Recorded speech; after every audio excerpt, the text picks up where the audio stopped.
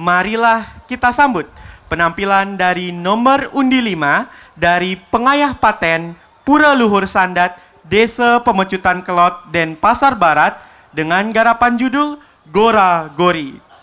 Perang Puputan Badung yang terjadi pada 20 September 1906 merupakan bukti sejarah tentang semangat kepahlawanan yang menyatukan raja dan rakyat Badung.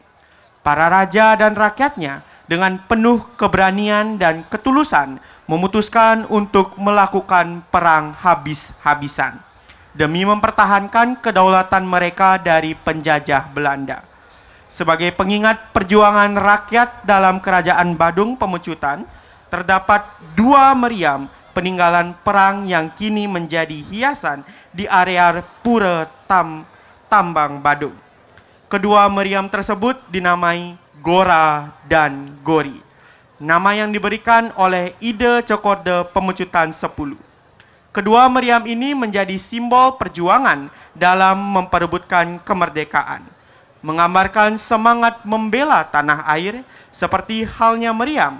Gending Beleganjur Bebarongan ini disusun dengan penuh energi, mengutamakan unsur-unsur seperti tempo, ritme, dan dinamika tanpa mengesampingkan esensi utama dari Beleganjur Bebarongan.